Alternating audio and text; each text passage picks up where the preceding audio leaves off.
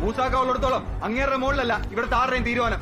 വീടില്ലാത്തവർക്ക് പള്ളി അവയും കൊടുത്തിട്ടേ ഉള്ളൂ. ഞാൻ അങ്ങനെ തന്നെ അത് ഇന്നേ അവരാരും മതം നോക്കിയിട്ടില്ല. ഇനി പള്ളിയുടെ പേരും പറഞ്ഞു നീ ഒന്ന് ഇവിടെ ആളെ തമ്മിൽ തെറ്റിക്കണം നീ വണ്ടി മുന്നോട്ട് ഏവൻ തുറക്കും.